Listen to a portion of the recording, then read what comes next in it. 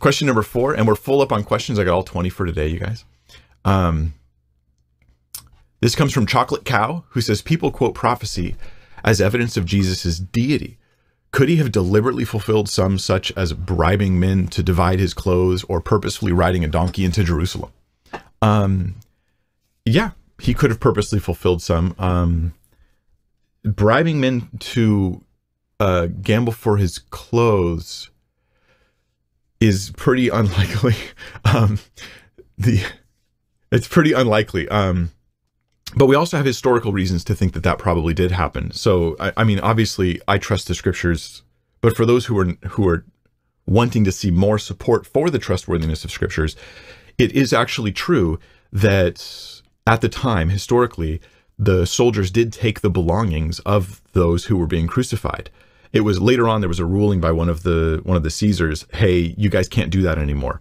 But that was because it was a practice that was going on where they would take the belongings of the person. And um, um, so that's that that was just a normal practice for, for crucifixion at the time. Historically, there's no reason to doubt that happened.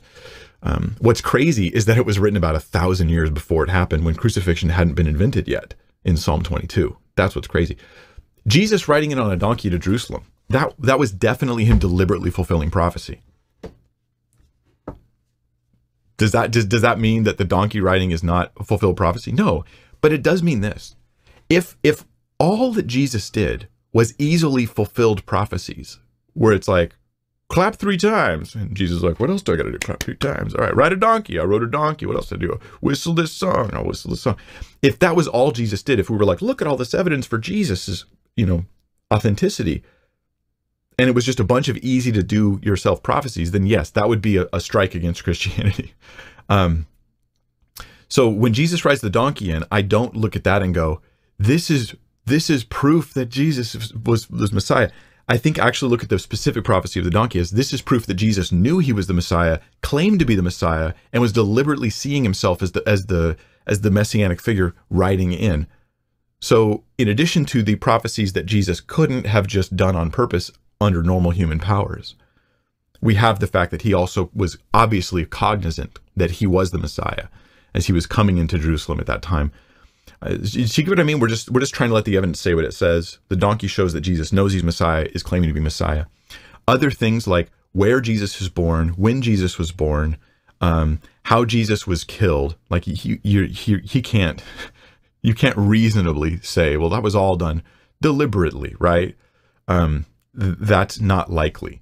Um, him being pierced, you know, that sort of thing um, the the resurrection of Christ, the the eyewitness testimony to his his resurrection, like those are some things.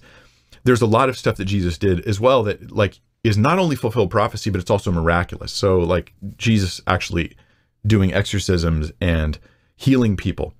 Um, at least the people at the time, not just the writers of the gospel coming years later, the people at the time believed Jesus was an exorcist and healer, like he was really doing these things.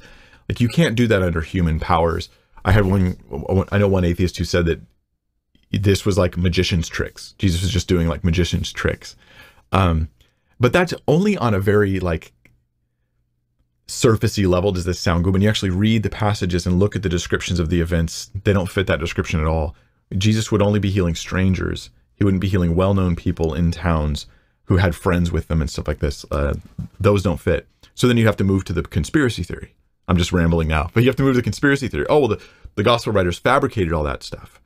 Except then you have to start to try to build a case for why you will selectively reject all the miraculous stuff in the New Testament when there's so much historical support for everything else in the New Testament, um, along with corroborating accounts. And anyway, there's there's a, a big long discussion that can happen there. Anyway, I hope that helps.